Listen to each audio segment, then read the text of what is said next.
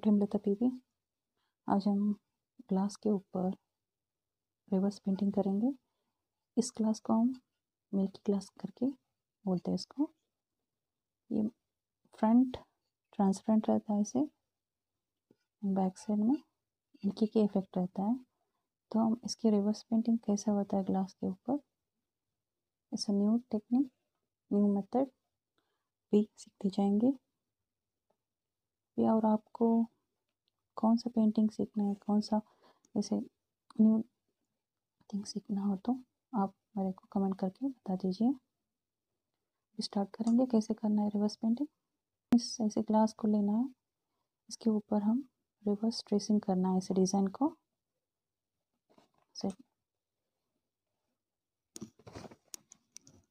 बाद में इसके ऊपर हम कलर करते जाएँगे। कैसे करना है?